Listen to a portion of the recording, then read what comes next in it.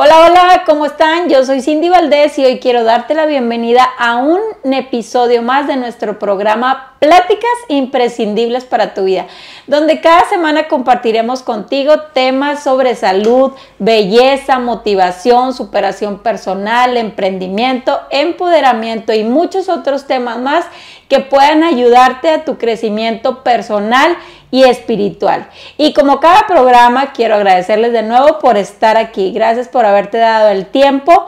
Para mí es emocionante cada plática porque desde pequeña siempre me ha gustado aprender de la demás gente y también compartir. Entonces, eh, aquí pongo y aprovecho mis dos pasiones y me da muchísimo gusto que ustedes puedan estar aquí, que puedan ser parte de esta comunidad y que podamos aprender, invertir en nosotros y crecer. Y espero que este programa sea de bendición para ti. Todos en la vida queremos lograr mm, distintas cosas. Cada quien tiene sus sueños, sus anhelos, sus deseos, pero no podemos lograr nada si no nos esforzamos y si no perseguimos y somos consistentes para lograr nuestras metas. Todo lo que vale la pena requiere esfuerzo. Y el día de hoy me acompaña una persona que ha sido esforzada, ha sido valiente y ha luchado por sus objetivos, pero también por ayudar a las demás personas. Y algo que hemos aprendido de este programa es que cuando ayudamos, cuando abrimos nuestra mano, todo se devuelve en gran manera. Y hoy tengo el gusto de presentarles a una persona que es directora general de un restaurante muy famoso aquí en Monterrey de tortas y hamburguesas llamado Joker y también fue la primer candidata independiente en lanzarse por la alcaldía de San Pedro Garza García. También es la, actualmente la presidenta del patronato del Festival Santa Lucía y bueno, muchísimas otras cosas más, pero también consejera del Paseo de la Mujer Mexicana, del Festival Internacional del Cine de Monterrey, de la Fundación Ya Puedo Escucharte y muchísimas otras cosas más. Y hoy tengo el gusto de presentarles a Lorenia Canavati Bomborstel. Bienvenida, Lorenia. Hola, Cindy. ¿Cómo están todos? Qué gusto estar aquí. Muchas gracias por la invitación y más a un programa tan bonito que llena de luz a todos. Y me encanta cómo lo dices, eh, la importancia de la pasión y de realmente perseguir lo que, lo que queremos y lo que nos apasiona, eso es para mí lo principal. Totalmente, y se ve demostrado en toda tu, en toda tu carrera, y pues yo creo que todos tenemos muchísimas cosas que aprender de las demás personas, pero tú hoy nos vas a compartir mucha de tu experiencia y de el detrás de cómo has logrado llegar hasta donde has llegado, cuál ha sido tu trayectoria y sobre todo cuál ha sido tu aprendizaje. Entonces yo estoy muy emocionada de todas las experiencias que nos puedas compartir para ayudarnos y a motivarnos a cada uno de ustedes a que yo creo que todos podemos lograr nuestros sueños y nuestras metas, cada una son diferentes, pero yo soy partidaria de que hay que esforzarnos. Soñamos con muchas cosas y, evidentemente para cumplir esos sueños sí tenemos que esforzarnos, pero no, a veces las personas piensan que es un sueño y luego tienes que hacer como una planeación así eh, milimétrica de todo. Y no necesariamente, yo creo que a partir de que tengas ese sueño o que lo escribas o que le pidas a la vida que lo quieres llegar hacia un punto, como que todo se va dando. Al, menos así me ha pasado a mí. bueno, sí comparto eso. Yo creo que lo más importante es comenzar y decidirte, porque muchísimas veces eh, me pasa con muchísima gente que conozco a mi alrededor y te debe pasar a ti también, pues todos tenemos buenas ideas y todos tenemos tanto ideas de cosas nuevas, de negocios, pero pues ideas las tenemos todos, pero el, lo más importante para mí yo creo que es comenzar. Porque muchas veces estamos, no, pues necesito, es que me estoy esperando porque necesito un socio, porque necesito tener el dinero junto, o me falta esto, y estoy esperando tal. No esperen nada. Aviéntate y yo creo que de ahí viene todo. Súper valioso lo que estás diciendo, Cindy, porque si no empiezas a accionar luego, luego, aunque no sepas ni cómo, lo empieces a hacer, se, todo se empieza a dar, pero hay que accionarlo. por ejemplo, en el consejo del patronato del festival, y ahorita que dices de las ideas, y pues hay un dicho muy famoso que dice que, el cementerio está lleno de, gente con ideas, ¿verdad? O sea, algo así va el, ya no sé porque siempre cambian los dichos, pero eh, cuando alguien dice una idea, siempre les digo, bueno, pues si a ti se te ocurrió, mm. al que se le ocurre, hace la idea. Porque luego lo que acaba pasando es que quieren que tú hagas todas las ideas y pues no, no te alcanza la vida. Entonces, eso funciona muy bien porque, y en muchos consejos que he estado alrededor de la, de la vida, yo siempre les digo, al que se le ocurrió la idea, la hace. Y ya todos nos unimos para, para, para hacerlo. Y yo creo que eso es bien valioso porque si no, pues a la hora de dar una idea, ya le piensas dos veces. Si dices, ah, voy a decir la idea, pero luego yo la voy a tener que hacer, mejor ya no la digo, ¿no? Entonces, es en, ese, en esa parte, pues hay que, hay que ponerle acción a las ideas. Sí, totalmente. Y bueno, mm, tú has sido una mujer muy decidida y yo considero muy valiente y que siempre ha luchado por sus sueños, pero me gustaría que nos platicaras un poquito qué Lorenia de niña. Lorenia de niña es una, fue, es, sigue siendo porque sigo teniendo a mi niña interior. Una niña muy soñadora, una niña que le gustaba ayudar a todos a su alrededor. Se veía una injusticia en el colegio, quería hacer algo por esa injusticia o a alguien que lo molestaban, yo estaba ahí para, para ayudar. Em, y siempre fui una niña que no quería hacer travesuras. Sí me gustaba mucho jugar. Era una niña líder desde chiquita. O sea, me encantaba, por ejemplo, con mi prima y mi hermana Magali y Gracie, que les mando besos, que siempre querían jugar y yo decía, bueno, hay que jugar a la Mujer Maravilla. Pero yo quiero ser la Mujer Maravilla, si no, no jugamos. Entonces, desde chiquita, pues se, te empieza a notar esto que traes de, de líder, de yo quiero ser pero realmente no, con las travesuras, si mi hermana andaba ahí haciendo travesuras, yo no. Yo me gustaba, si había una reunión, sentarme con, con los señores, porque en esa época las mujeres no hablaban de política, solo los señores, y cuando estaban los papás, o me gustaba sentar para oír de política. Desde chiquita me gustaba mucho leer las editoriales en los periódicos, con todo el tema de política, con oía, oír, de, oír de presidentes, oír, pero sí me, me preocupaba mucho que yo oía que se quejaban y no hacían nada al respecto. Entonces yo decía, ¿por qué? Se quejan y se quejan y no hacen nada al respecto. Y eso se me quedaba siempre muy grabado. Yo decía, pero ¿por qué no accionan? Para mí era como la consecuencia lógica de estar criticando. Claro. Si criticas, pues tienes que accionar, ¿no? Entonces, esa parte era Lorenia de chiquita en general. Y bueno, siempre cantaba Lorenia de chiquita. Ah, también desde ahí traes, lo, artístico también. Y bueno, yo creo que tienes también eh, un gran aprendizaje de parte de tu familia y que es algo que, que lo platicamos aquí. Vienes de una familia que emprendió, que emprendió un negocio en su momento y tú has sido partícipe desde niña en ese negocio. Entonces, es cuéntanos bien valioso que lo, que, lo, que lo platiques porque, bueno, mi abuelo abrió Joker, que antes se llamaba Kingsburger, en 1970, en donde ahorita está la Macroplaza, en el estacionamiento Turbide, y falleció al poco tiempo. De hecho, falleció cuando yo tenía como meses. Y luego mi abuelita se queda al frente de ese negocio. Y mi abuelita nunca había trabajado y una mujer también súper empoderada y sacó el negocio adelante. Y luego mi papá abre el del centrito en 1973.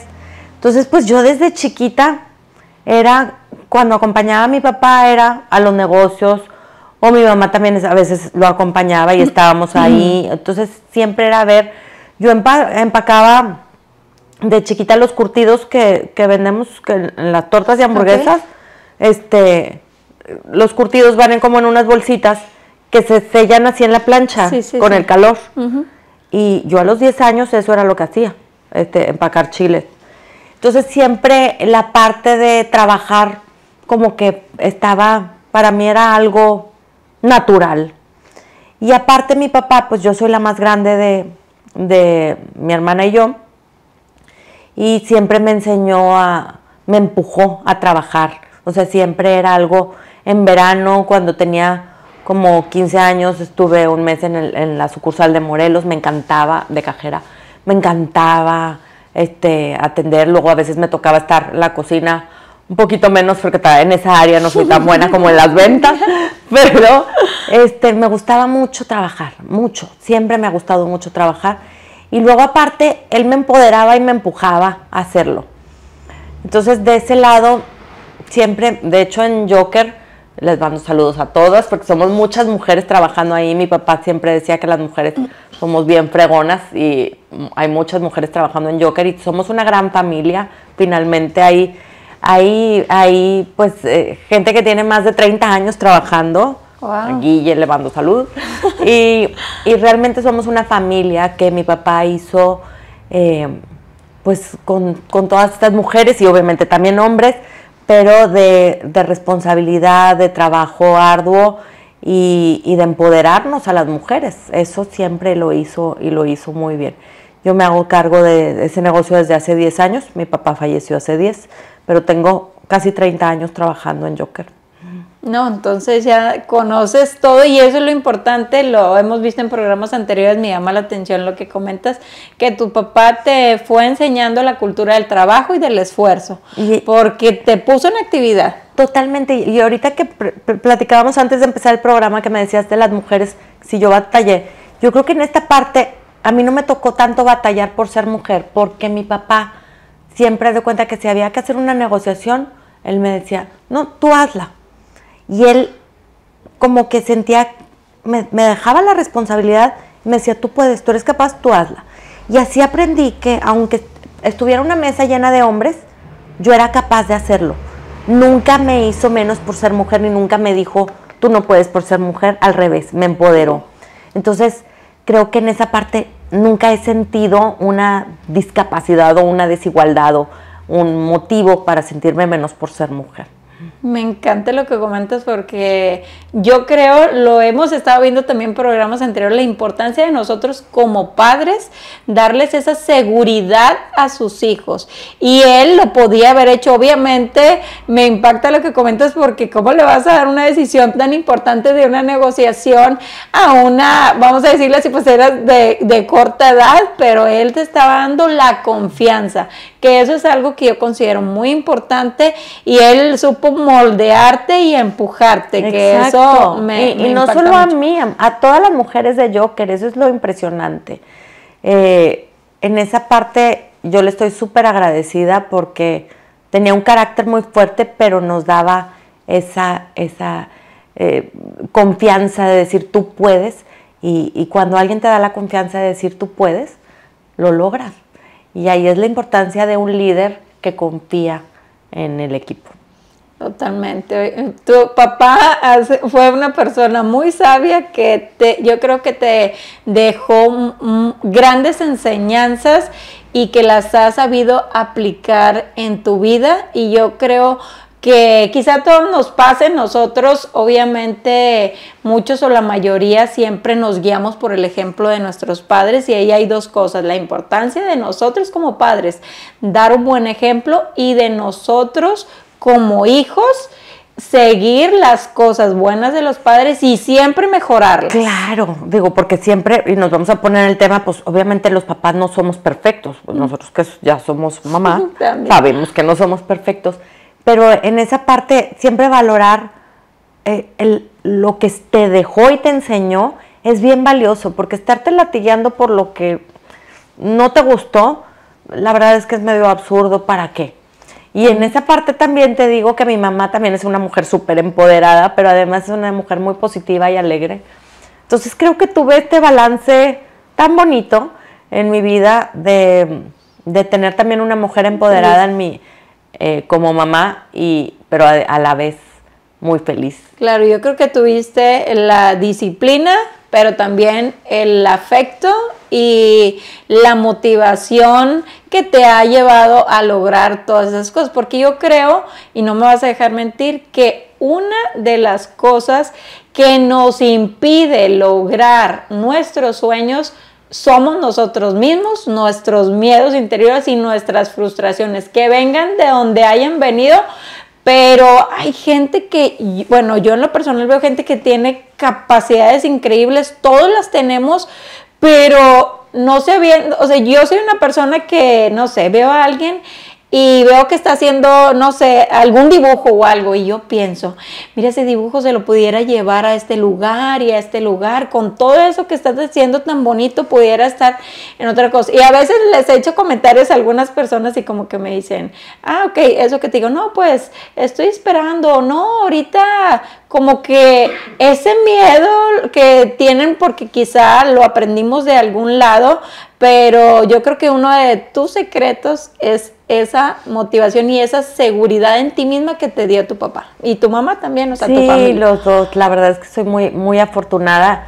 Y yo creo que todos somos afortunados, yo creo que de alguna manera nuestros papás nos han sembrado algo, bien o mal, digo, habrá algunos que no quieran ni ver a sus papás, pero, pero siempre hay algo bonito que aprender, hasta de lo malo se aprende. Totalmente. Y de lo malo también crecemos y de las frustraciones también crecemos, siempre y cuando les eh, podamos dar la vuelta. Pero el amor que nos dan nuestros papás, por ejemplo, mi mamá, bueno, es una persona, si tú te la encuentras en el súper, todas mis amigas me dicen, es que tu mamá nos levanta el ánimo demasiado porque nos la encontramos en el súper. Ay, qué bonita te ves hoy. Dice, puedo estar toda garrapastrosa, pero tu mamá siempre me dice que qué bonita me veo. La importancia de, de, levantar el ánimo a la otra persona, de hacerlo sentir bien, eh, es, bien valioso y esa parte a mí me falta todavía mucho por aprenderle, de verdad. No, pero qué, qué bonita enseñanza has tenido y bueno, yo creo que para las mujeres en especial, pues nuestros padres son una figura muy importante. ¿Y cuál crees que es la mejor enseñanza que te dejó tu papá o qué es lo que más has admirado de él? Mi papá siempre me enseñó a creer en mí y, ah, el apoyo que, me dio eh, para mí es, es una manera de admirar lo que él hizo por mí y siempre me decía Juana de Arco. y de hecho tengo en mi escritorio, en Joker, en mi oficina, una copia de Juana de Arco, porque mi ah. papá cuando una vez estaba pidiendo firmas eh, para un, tema ahí del, municipio de San Pedro, y estaba tan orgulloso de mí, me llevó ahí unos refrescos para que no estuviera con el calor y me llevó esa copia de Juana de Arco en una fotocopia y la enmarqué y la tengo ahí en mi escritorio porque independientemente de lo que haya hecho Juana de Arco o no, era el cómo me veía. Él para mí es, es, bien valioso. Claro, y lo conservas como parte de, de, una motivación y yo creo que eso también te enseña a que cada día pelees por todo lo que tengas que pelear. Yo creo que cada día es una lucha y una toma de decisiones para siempre ser mejor. Todos los días, todos los días, todos los días hay que tomar decisiones todos y hay decisiones que nos dan miedo y hay decisiones que decimos, híjole, lo deberé hacer, no lo deberé hacer. Pero yo creo que lo más importante es, es ver que, que el miedo no nos deja nada uno que dos, tenemos que accionar, pero la manera en la que yo siempre acciono, aunque tenga miedo, es lo siento aquí cuando sé que lo debo de hacer o no. aquí, puede ser aquí o aquí o aquí, pero no sé. Mi, mi cuerpo me avisa cuando debo de hacer algo y accionar, aunque tenga miedo, porque sé que Dios siempre me acompaña y que nunca me ha fallado. Y que, y que debo de confiar y debo de tener fe en que todo va a estar bien. Claro, y eso, muy, muy bonito mensaje que, nos comentas. Y bueno, en, en, la parte que estábamos platicando de, de la empresa en la que, que, te toca trabajar, comentaste ahí primero un nombre que se llamaba The Kingsburger y después mencionaste que, que, actualmente se llama Joker. Platícanos un poquito ahí la historia. La historia es medio larga, pero llevaba yo, eh, Kingsburger 25 años registrado ah, de las leyes mexicanas en el INPI y todo. Y de repente una Semana Santa con los juzgados cerrados llega y nos clausuran ah, del gobierno federal todos los negocios. Este, por el nombre, que porque había llegado una demanda de Burger King. Y entonces, eh, pues imagínate la frustración de que te cierren todos los negocios. Mi papá se va a México junto con mi abuelita y eh, van a ver qué pueden hacer. Y yo me voy con todos los editorialistas de todos los medios. Escribí una carta de la indignación que sentía de lo que estaban haciéndole al negocio a mi papá y de mi, de mi familia y bueno, muchos editorialistas escribieron eh, sobre eso que nos estaban haciendo porque era un negocio de la comunidad. Llevaba 25 años en la comunidad. Y total, pues le dijeron a mi papá y a mi abuelita que si se quería defender, pues que iban a tener que estar los negocios cerrados. Pues ¿cómo te defiendes? ¿Cómo pagas abogados como todos si no tienes dinero que está ingresando? Entonces eh, llegó, llegaron y le pusieron un signo de interrogación a todos los letreros, quitamos todos los nombres y le preguntamos a la comunidad, se le ocurrió a mi papá, de preguntar cómo quieres que se llame. Kingsburger, como, antes Kingsburger, cómo quieres que se llame. Y antes el logotipo de Kingsburger era una baraja del rey. Y Joker es más que cualquier baraja. Y por eso se llama Joker, porque mata todo. o sea, es más, más valioso que todo. Y desde entonces somos Joker, 53 años, y creo que a veces el karma pues es, es eh, son temas y bueno, pues gracias a Dios y toco madera, este, seguimos en la comunidad brindándoles un gran servicio y gran comida y felices de poder seguir atendiendo después de tantos años. Oye, qué bonita historia porque es como se presentó algo solucionaron, porque eso es algo que nos pasa, solucionamos de alguna forma y luego de ahí yo creo que de los problemas salen siempre mejores cosas y yo creo que fue ese el Siempre, y siempre aprendes mucho y, yo creo que fíjate, de ahí mi papá también me empezó a ver, yo todavía no trabajaba en Joker, mi papá me empezó a ver con una admiración diferente, yo ahí... Porque me, o sea, no puedo con las injusticias, es algo que realmente me muere todo. Una injusticia hace que yo me, me ponga en armas, punto. Entonces, es en esa parte, eso fue lo que pasó en esa ocasión. Me, me, indigné tanto de lo que nos estaban haciendo que de ahí de alguna manera empieza un activismo este que he llevado a cabo toda mi vida. Claro, totalmente. Y, y porque fue un acto que hiciste de mucha valentía, el ver cómo soluciona y voy a buscar, voy a hacer todo lo que se pueda para eso. Y en el negocio yo creo que eh, fue el, vamos a llamarle así, como que el primer aprendizaje que tuviste en tu vida, porque estuviste pues desde pequeña ahí. Y me imagino como en todo negocio, 53 años, Debes de haber tenido muchis, no, no una como esa. Todavía no había nacido yo. Este año, en julio cumplimos 53 años, yo tengo 51. Entonces lo abrieron y luego mi abuelo falleció cuando yo ya había nacido. Entonces prácticamente al año de, haber abierto el negocio. Comenzaste. Y bueno, ahí en, para todas las personas que quieren emprender, eh, bueno, esa es una de las situaciones que a, ti o al negocio también se le presentó y no sé si nos puedes platicar algunas otras situaciones en las que han sido, yo sé que ha habido quizá muchas, pero como que algunas situaciones relevantes en las que pues ¿Cómo tuvieron que solucionar? Yo creo que, híjole, hemos tenido tantas, pero una que me tocó a mí recientemente y que nos tocó a muchos fue el tema de la pandemia, ¿no? En marzo del 2020 estaba, eh, de hecho yo no estaba aquí, estaba viajando y de repente, pues llegó así como muy rápido la pandemia, pero en San Pedro cerraron antes, no sé si te acuerdas, cerraron antes el servicio al cliente antes que, que casi todo México. El 18 de marzo, si no mal recuerdo, del 2020. Entonces, iban a cerrar la frontera, yo me dejo venir para acá y de repente no puedes venderle al público, nada más para llevar o servicio a domicilio. Entonces, en, gracias a que yo iba regresando de viaje, vi que había números en algunos restaurantes en Estados Unidos que ponían en las calles, o sea, en, el estacionamiento, para que llegaras por tu, por, tu order de pick-up, bien pocha yo, por tu orden para llevar. Y en ese momento tenemos botes, unos botes así como baldes de Les pusimos cemento, hicimos con un este tubo de PVC y pusimos números.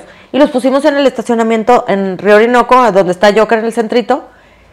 Y para que empezamos a decirle a los clientes, ven por tu orden para llevar, eh, no te tienes que bajar, el mesero se va al carro, como si fuéramos un tipo drive-thru. Y bueno, obviamente implementar mucho más cosas para el servicio de domicilio. Y ahí es bien importante una cosa.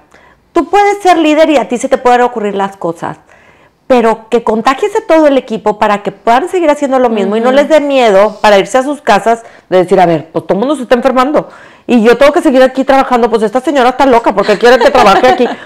Pero todo el equipo se contagió y para poder ser líder y poder motivar a todos los demás, pues todos los demás también fueron líderes junto conmigo en ese gran equipo y familia que tenemos en Joker y accionamos y todos se quedaron trabajando y se pusieron la camiseta y además hicimos un paquete bien padre para doctores y enfermeras en el que dábamos un paquete a costo para, yo llevábamos a los hospitales los paquetes de tortas para apoyar a todo el servicio médico pues que estaba trabajando todo el tiempo y los clientes podían donar esos paquetes y nosotros los dábamos a costo. Entonces hicimos como un, también un fondo en Moneypool donde pues, pudimos este, aparte brindar este servicio y tener un flujo adicional que era el poder estar vendiendo aunque fuera a costo, pues era dinero que estaba ingresando y nosotros poder estar ayudando a la comunidad. Wow, qué interesante. Pues eh, seguimos eh, en el mismo tema de que se presenta una situación y siempre tienes que ver la forma de solucionarla y de cómo sacarle cómo sacar lo mejor de esa situación y lo hiciste ahí con, con esa situación que se presentó. Y algo que acabas de comentar muy importante es cómo diriges a todo el personal y cómo diriges todas las sucursales. Es... Híjole, aparte es bien difícil porque, porque si te tienes que de alguna manera cargar, ¿no? Con toda la gente que está trabajando porque dices, ¿Qué pasa si cierro? ¿Y qué pasa con todas sus familias? ¿Y qué pasa con el dinero que tienen que ingresar? ¿Y qué pasa si no tengo flujo para poderles pagar? O sea, es realmente una responsabilidad muy, muy grande, pero todos se pusieron la camiseta junto conmigo y, todos empezamos a, trabajar en, ponernos eh, de acuerdo, en trabajar en equipo. Y, yo creo que esa es la parte más bonita, ¿no? De cuando tienes un equipo que todos... Eh, se vuelven familia y trabajan y reman hacia un mismo lado, este, pues sobrevives. Sí, y eso es algo muy importante para todas las personas que quieren emprender, que, que, no saben quizá pues los retos que se pueden enfrentar. Yo creo que todo es posible cuando ellos ven, como, como tú lo dices, que ven que, que te apasiona, que estás ahí, que ven el ánimo en ti, porque quizá hay algunas personas, eh, dueños de negocios, que se molestaron, que ya no sabían qué hacer, y quieras que no, pues lo compartes con, con la gente que si te yo tampoco ya no sabía qué hacer, y si yo también me molesto, y si no soy, no soy perfecta, obviamente, pero bueno, como dije hace rato, a veces la vida te va diciendo por dónde, y si tú eh, tienes un poquito de esa sensibilidad para escuchar por dónde, bueno, pues puede salir adelante. claro. Y bueno, ahí cuál el, cuál crees que es el secreto de, de Joker para tener tanto tiempo? Es el, hay muchas empresas, precisamente como lo comentas, en pandemia, yo creo que muchísimos negocios cerraron. Entonces, eh, ustedes una empresa de tanto tiempo, pues no, no es tan común. No, no es tan común y bueno, ahorita también estamos viviendo un, momento difícil, por ejemplo, en, la sucursal del centrito, donde estamos ahorita con la remodelación y, y, pues sacar adelante el negocio a pesar de todas las cosas que estamos viviendo. Ahorita las remodelaciones pues está, está, siendo muy, muy difícil para, para la sucursal del centrito. Tenemos cuatro negocios eh, en total. Y, y pues hay que echarle para adelante a todo y hay que idear cosas. Yo creo que el secreto ha sido uno, yo personalmente, por ejemplo, pruebo, llega un nuevo lote de carne, yo lo pruebo, me lo llevan a mi escritorio y yo lo pruebo. Este, si vamos a cambiar un ingrediente, personalmente yo lo pruebo. Yo, la directora de operaciones, Nacha, tenemos un gran equipo, te digo que eh, también esto es otra clave. Y bueno, para nosotros lo primordial es eh, darle ese servicio al cliente, pero no nada más es un servicio. Y bueno, además de que tenemos comida deliciosísima, ya ojalá que los haya antojado para que vayan. Y este, pero eh, no es solo dar un servicio o un platillo al cliente, sino es hacerlo sentir como si estuvieran en casa hacerlo sentir como que todo se puede hacer. Se te puede ocurrir el platillo más raro, lo podemos hacer. Este, y pues es finalmente darle ese servicio a la comunidad con un platillo delicioso y un super servicio lleno de amor.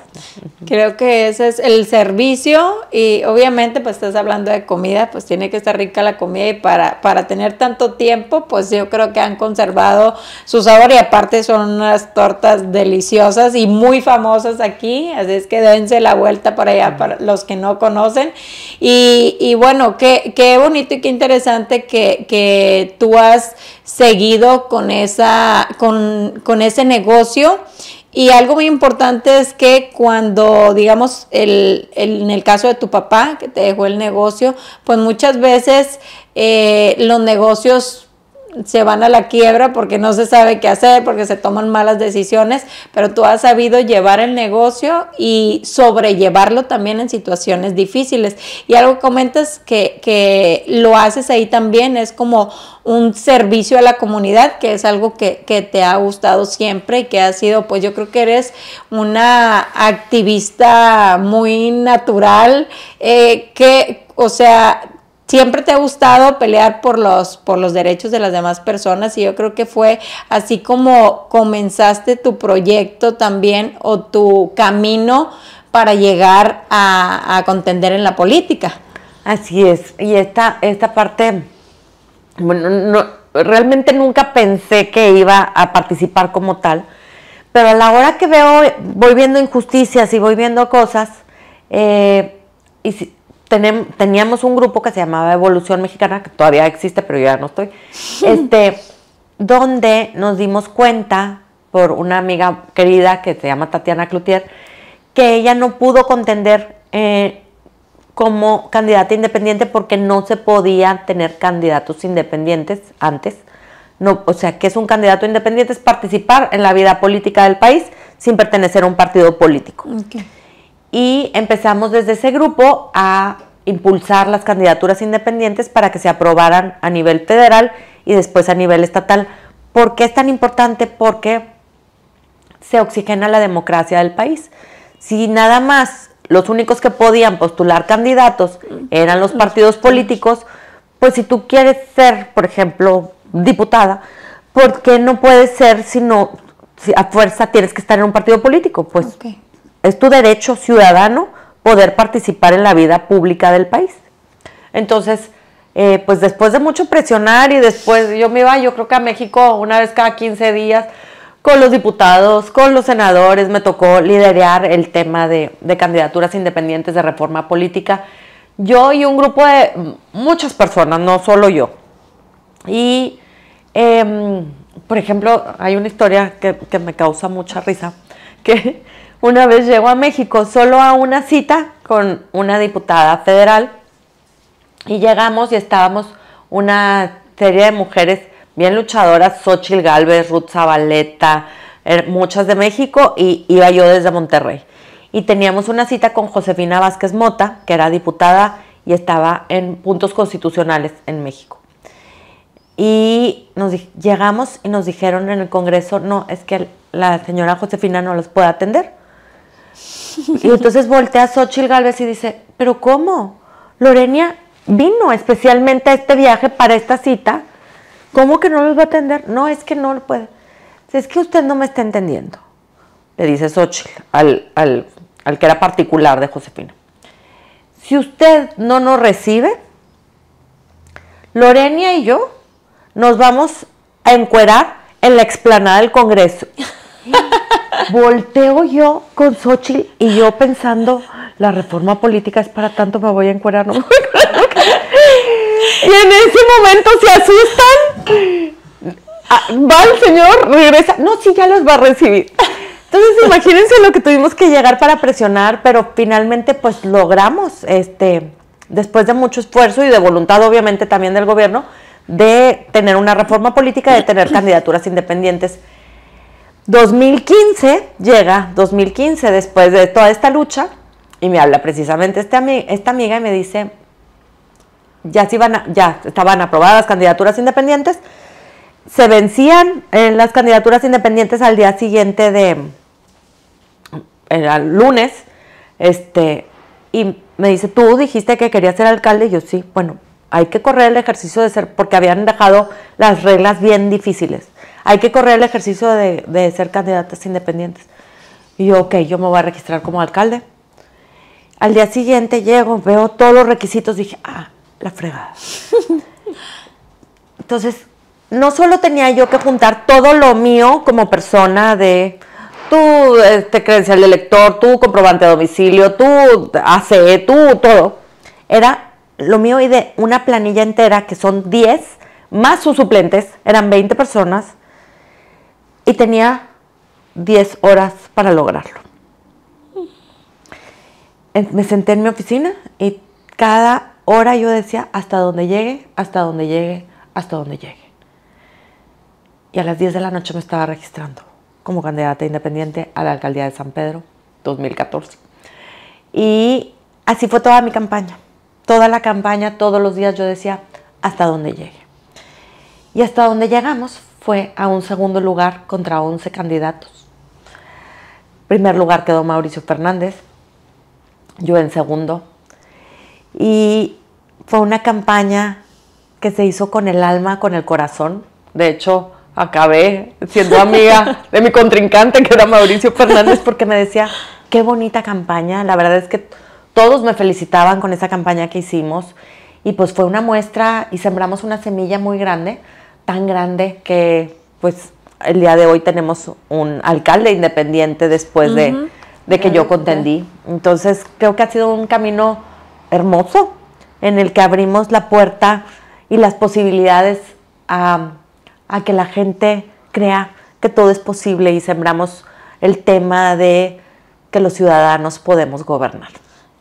Sí, y aparte, no solo que los ciudadanos podemos gobernar, sino también, no sé si ahí se te presentó también el detalle de que, pues, por lo general, eh, los hombres son los que están en la política, ah, entonces no sé si fuiste afectada también por en, en ese tiempo, bueno, tiene pocos años que se ha como que eh, peleado más por los derechos de las mujeres y por la igualdad. Por el trato, por la igualdad. Pero no sé si tuviste experiencias difíciles en ese tema. Sí, obviamente no era, uno, no era muy común que hubiera tantas mujeres en la política. De, hecho, después de eso empezó todo el tema de género, de que hubiera más mujeres en los puestos, cuando yo estuve como candidata, ¿no? Creo que también es, eso eh, para mí es bien valioso, porque yo sí veo a muchas mujeres ahora eh, amigas cercanas queriendo hacer también este con esto eh, pues su lucha dentro de la política. Y creo que también es bien valioso porque abrimos la puerta. Y, al verte dicen ah, si ella lo pudo hacer yo también lo puedo hacer y eso para mí es valiosísimo. El poder empoderar a los ciudadanos y en poder, poder empoderar a las mujeres con mi ejemplo vale oro Claro, totalmente. Y ahí, bueno, en todo el tiempo de campaña, como tú dices, tú fuiste diciéndole hasta donde llegue, hasta donde llegue, hasta donde llegue. Me imagino que se presentaron muchísimas circunstancias, pero ¿cuál fue como que, qué te dejó ese, ese tiempo de estar en campaña o qué experiencias tuviste que son las que más te hayan llenado? Uy, este, estar en campaña para mí fue el poder estar con la gente, es que a mí esa parte de ayudar y de oír las historias de todos y de poder decir, híjole, yo puedo hacer algo en esto, yo puedo hacer algo en esto. Muchas de mis propuestas de campaña, de hecho, eh, se utilizaron después. Entonces también poder sembrar estos temas que pones ahí en la mesa y que dices, ah, se, se, puede, se pudo lograr después, aunque yo no lo realicé porque escucharon mi idea, también es bien valioso. Entonces, eh, bueno, a mí eh, el hacer campaña me encantó, pero finalmente me encanta todo en la vida. todo lo que me pongan a hacer me gusta. Soy una persona de retos. Eso sí, te lo debo decir. Entre más reto, más grande, más me gusta. Y, en esta parte, pues, eh, ese reto para mí era valiosísimo y aprendí muchísimo de él. Y bueno, yo creo que también la, la, vida te ha dado muchos aprendizajes en cada una de las situaciones en las que has estado, en el negocio, después en la lucha por los derechos, en el activismo, en, esa experiencia también. Eh, para, en la participación ciudadana que tuviste y también eh, llega un momento difícil a tu vida, un momento de salud, ¿Cómo enfrentas esa situación? De hecho, ese fue, fíjate, fue antes de mi candidatura. Fue en el 2014. No, fue en el 2013. Mi candidatura fue en el 2014. Yo me enfermo en el 2013. Eh, mi mamá le detectan cáncer de mama y mi mamá eh, muy avanzado, este, saliendo del hospital mi mamá, pues yo me voy a checar y resultó que tenía un año y medio de no, de no haberme hecho la mamografía. Pero pues bueno, a veces se te pasa tantito más tiempo, ¿no? Y gracias a, que a mi mamá le detectaron, yo también lo detecté muy a tiempo. Y bueno, pasé por un procedimiento muy fuerte eh, mientras mi mamá estaba en quimio y radiación. Fue una época muy difícil pero a la larga lo veo como una bendición y no piensen que estoy loquita. Eh, valoras tanto la vida, valoras, eh, es y una amiga me regaló un, libro que decía un regalo envuelto en una, en una envoltura muy exótica. Y eso es una enfermedad, eh, al menos yo así lo viví, porque es un regalo darte cuenta que la vida solo estamos aquí en una sola ocasión y que lo que no hagas en esta vida ahorita, no lo vas a poder hacer después. Y ese aprendizaje me hizo que yo perdiera el miedo de hacer muchas de las cosas que hago. Y de decir, siempre que tengo un reto enfrente, de decir, vamos a hacerlo. y perder el miedo, aunque siempre está el miedo ahí, el día que yo creo que no tengamos miedo, dejamos de ser humanos, porque ese, miedo también nos da este, vida, pero después de eso dije candidatura, claro, vamos a darle. entonces por eso digo que es una bendición, porque valoras mucho la vida, pero también valoras que el tiempo que tenemos aquí debemos de hacer lo máximo de ese tiempo. Claro.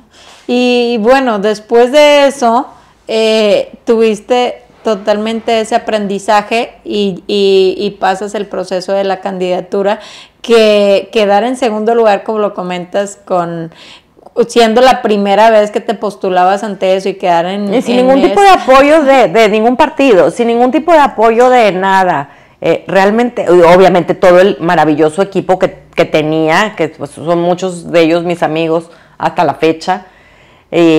luego ganamos dos regidurías que peleamos ante la Suprema Corte, que lo ganamos. También el tema de, este, porque a los candidatos independientes no los dejaban tener regidores, lo ganamos.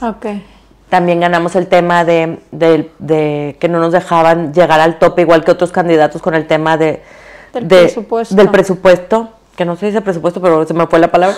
este, y también lo peleamos y lo ganamos. Entonces hicimos cosas bien valiosas que ahorita se quedaron en todo el país. Porque hay gente que viene y me visita porque dice, conocemos este caso como el caso Canavati. Se sentó un precedente para los otros candidatos independientes que puedan hacerlo en el país, el caso que ganamos. Obviamente no lo gané yo sola, con maravillosos abogados, que un Dream Team, eh, Federico Fernández, Mariana Telles y Ramiro Bravo, que lo hicieron por amor al arte y ganaron cosas maravillosas. Oh, qué increíble que lo que haya sembrado todavía se, se, siga aplicando hasta la fecha y que sea al final de todo, pues sea un, derecho de, nosotros como ciudadanos. Y bueno, siempre has peleado por los derechos de, de todos los ciudadanos y llegas a un momento en el que estás actualmente, como cómo llegas a ser la presidenta del Festival Santa Lucía. ¿Cómo ha vuelto la vida, no? es que tienes como que cambias. Sí, fíjate que Lo, lo más importante, y esto siempre lo digo, es cuando la vida te ofrece una nueva oportunidad de reinventarte, agárrala, si te hace sentido. Y no hay que tener miedo porque todo lo podemos hacer. Mientras estudiemos, mientras trabajemos, mientras le echemos ganas, eh, no hay cosa que no podamos hacer, siempre y cuando pongamos nuestra pasión en ello. Y el festival, bueno, tengo seis años, este va a ser mi sexto año como presidenta del festival cultural más importante del estado. Y es algo que también me apasiona enormemente hacer y pues es un festival que tiene una duración, el año pasado por ejemplo fueron 50 días de un festival en el que tenemos exposiciones, ciclo de cine, diálogos, espectáculos maravillosos eh, y, además podemos lograr llevar el festival a zonas vulnerables, a también otros municipios. El año pasado fuimos a, 40 municipios, no nada más es en el, en el centro de la ciudad y es gratuito en su mayoría. Entonces podemos llevar la cultura y el arte a toda la sociedad, que es finalmente lo que transforma a una, a una ciudad, transforma a una comunidad y hace que, que nos inspire, que nos eleve, que nos eduque y que veamos cosas de otras partes del mundo. Trajimos el año pasado 32 países, de otras culturas.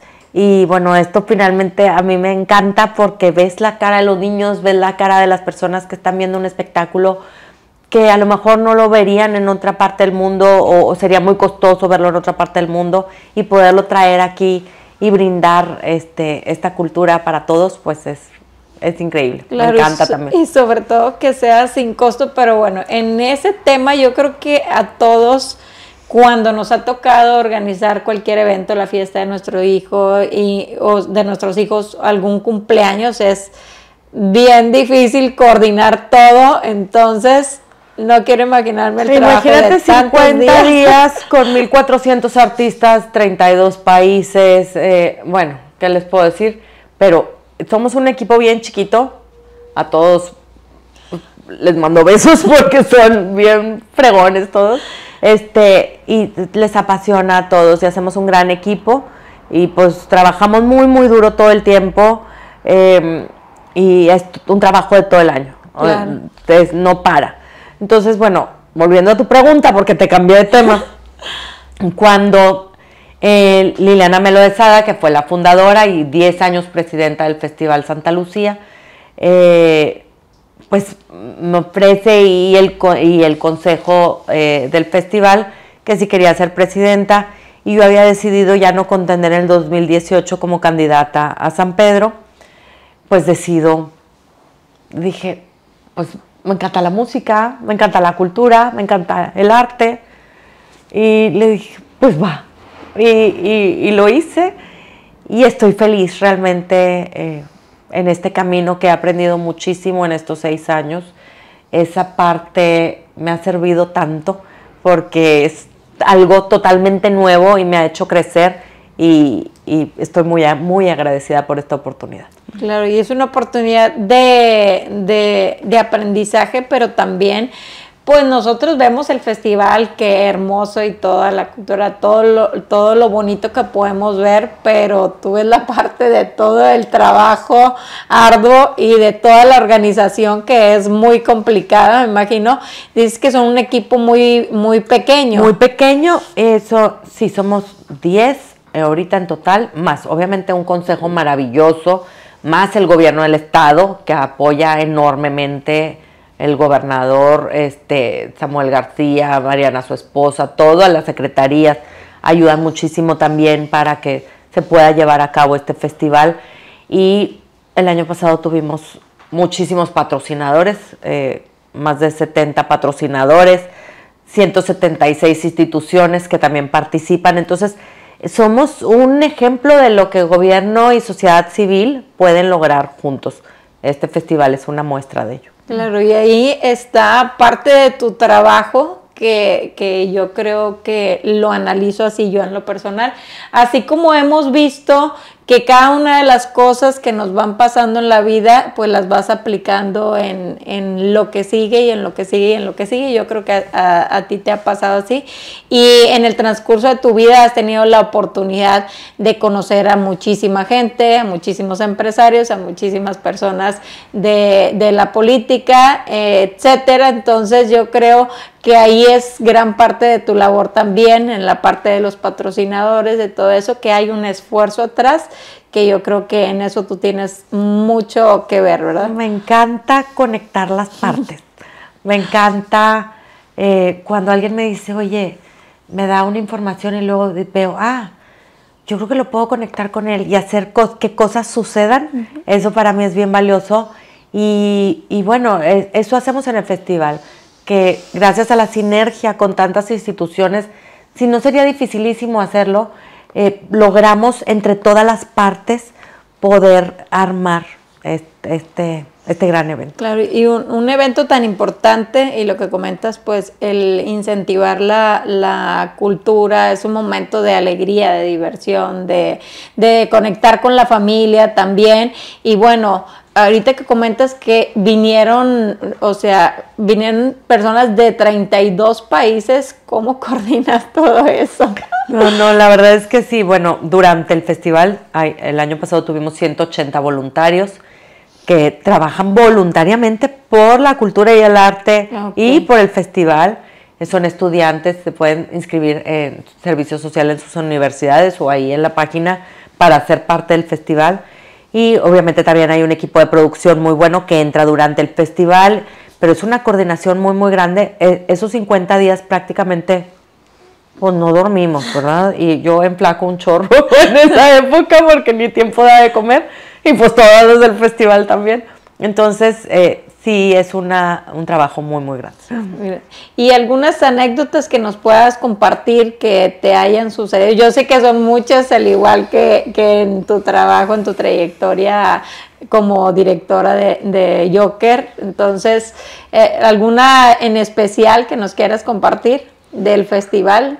¿Algún reto pues tengo, tengo muchas, este, todos los días, eh, me acuerdo bueno, me acuerdo de muchas cosas que, que nos infartan. Todos los días les digo que tenemos microinfartos durante el festival porque siempre, este no llegó, y este artista no sé qué, y este quiere cancelar, y este, bueno, todos los días tenemos microinfartos, de verdad.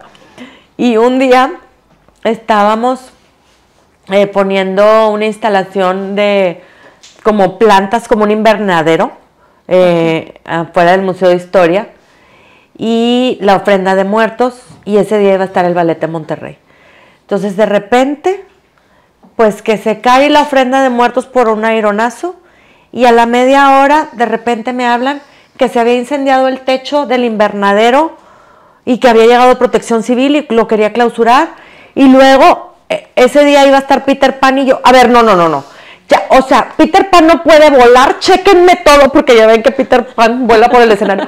chequenme que vaya a estar todo bien. Yo decía, ya tanta tragedia junta no puede ser. Entonces, bueno, esto para decir, pues, gracias a Dios sí voló Peter Pan y todo estuvo bien.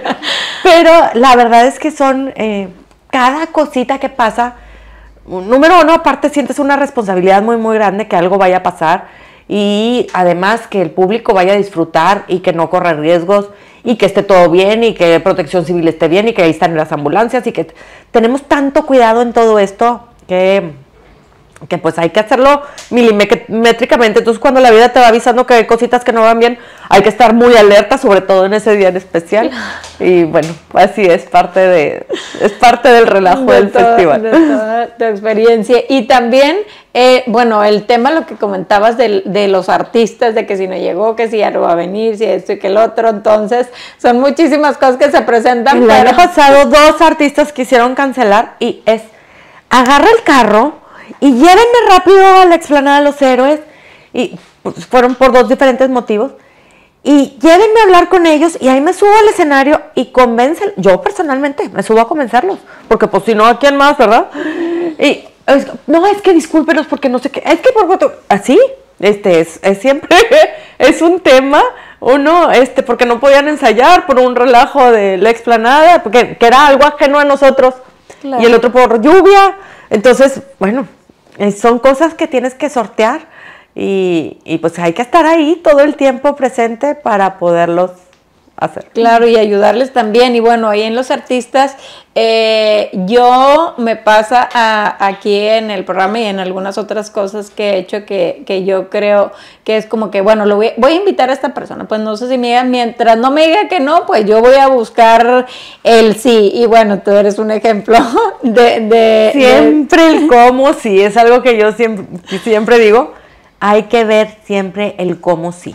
Yo no sé qué es un no.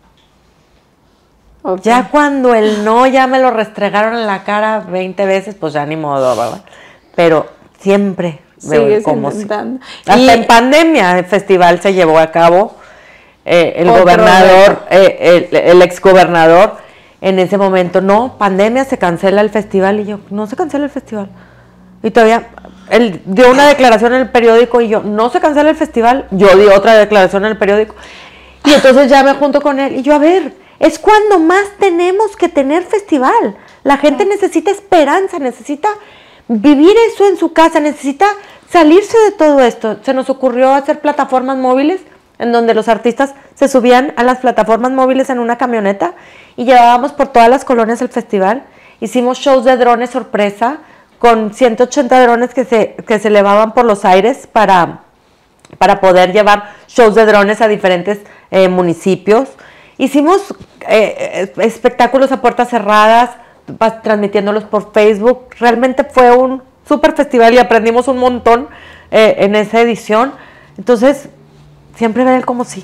Claro, y, cómo reinventarte, me encanta porque es lo mismo que te pasó en el negocio, lo mismo que te pasó cuando estuviste eh, participando para la candidatura y lo mismo que te pasa ahora. Yo creo que que siempre sucede eso, pero debemos de buscar el cómo sí. Y ahorita que comentabas de los artistas, ¿hay alguna experiencia que ya puedas platicar de algún artista que te digas, bueno, está complicado de traerlo y lo logramos traer por cualquier situación, no sé? Híjole, yo creo que hay, mucho, hay muchos ejemplos, eh, pues obviamente a lo largo de estos 16 eh, años. A mí los que me ha tocado, por ejemplo, el año pasado tuvimos tuvimos espectáculos maravillosos, pero uno de ellos, por ejemplo, fue Bronco Sinfónico. Este, mm, el, grupo Bronco nunca había hecho un sinfónico en su vida y eh, se le ocurrió a, mi novio y fuimos, o sea, yo me senté personalmente con ellos y los convencimos de hacer este espectáculo único. Y pues dijeron sí, va, y, pues lo hicimos. Entonces fue algo increíble. De hecho, creo que dentro de poco sale el disco. Y, pues. Hasta hicieron un disco. Ajá, y estuvo increíble ese, esa noche, la verdad. Yo creo que, bueno, tuvimos grandes conciertos el año pasado. Y pues hay ideas maravillosas que, que llevarlas a cabo te da una satisfacción increíble. Claro, y estás hablando de ideas a, otro nivel porque estás hablando de ideas que compartes con todo Nuevo León y con personas que vienen de todo México a ese festival, porque yo creo que todos queremos eh, impactar a la gente o ayudarla, como tú dices, y ser de bendición para las personas que nos rodean. Y creo que lo fuiste haciendo en, la comunidad de Joker, después lo repito de nuevo en la candidatura y después ahora en esta oportunidad del Festival Santa Lucía, pues yo creo que ha impactado a muchísima gente, ¿verdad? Así es.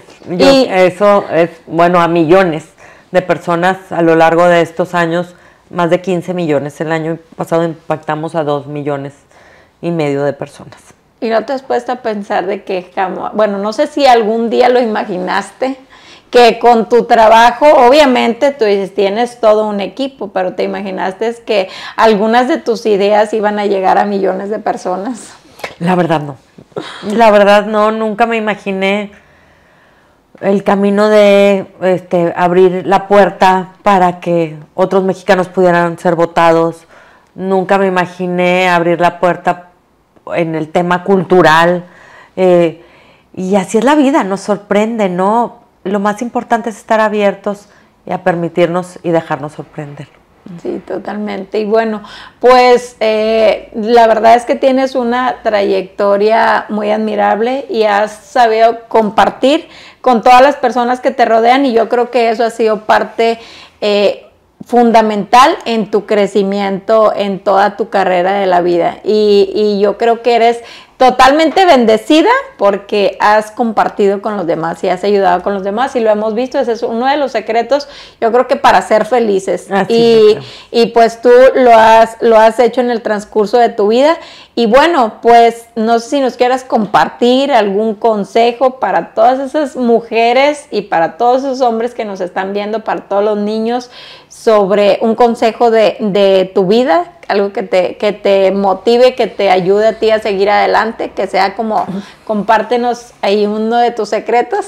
Bueno, me, me motiva, me motivan mis hijos, obviamente tengo dos hijos, una hija de 26 y un hijo de 24, Paloma y Emiliano, los dos artistas, porque ella es arquitecta muy fregona y mi hijo es actor también. Y los dos me motivan todos los días a, echarle muchas ganas, pero además me motiva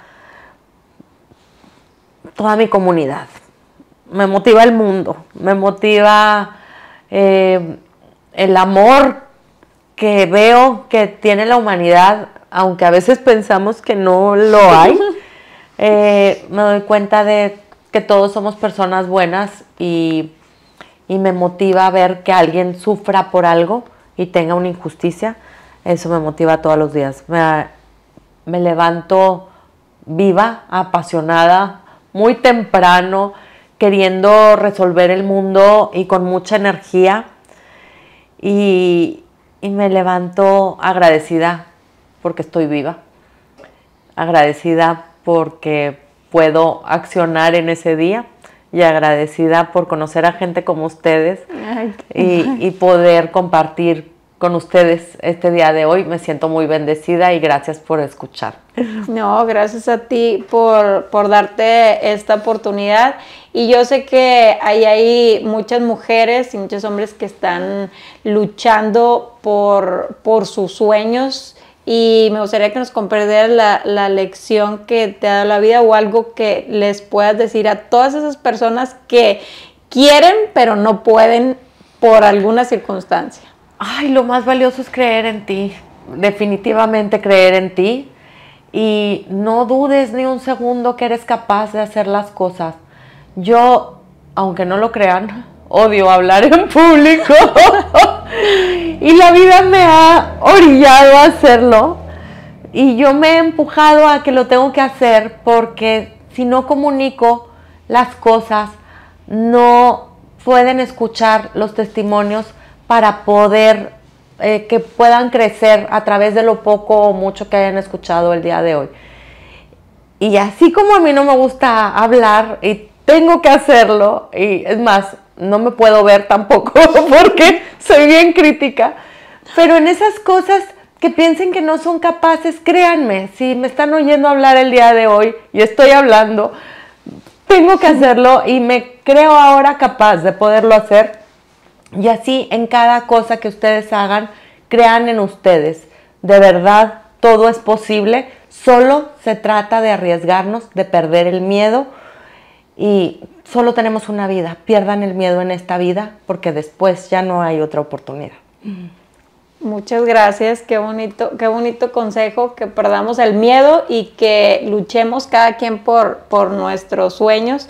Gracias, Lorena, por esta oportunidad que te diste de estar aquí y de platicarnos toda, bueno, un poco, porque hay muchísimo detrás de, de toda la trayectoria que has tenido, que has impactado a la sociedad, que has impactado a más mujeres y que eres una persona que motiva a los demás a lograr sus sueños y a pelear por sus derechos también. Te agradezco muchísimo por esta plática tan bonita. Me gustaría que nos compartas tus redes sociales para que te puedan ahí buscar. Claro, por favor, acompáñenme y escríbanme y díganme todo lo que quieran saber. Lorenia Canavati en todas mis redes sociales, arroba Lorenia Canavati. Gracias, gracias por esa oportunidad y sigan también nuestras redes sociales en Balsiacua. Recuerda que puedes encontrar productos naturales para el cuidado de tu piel y también en imprescindibles en todas las redes sociales. Gracias por vernos y te esperamos cada domingo a las 8 de la noche. Me despido con mi versículo favorito que espero que te ayude en tu vida. Mira que te mando que te esfuerces y seas valiente. No temas ni desmayes porque Jehová tu Dios estará contigo donde quiera que vayas. Josué 1.9. Muchísimas gracias por esta plática de gran bendición. Muchas gracias. Dios te bendiga y gracias a ustedes por vernos. Nos vemos. Hasta luego.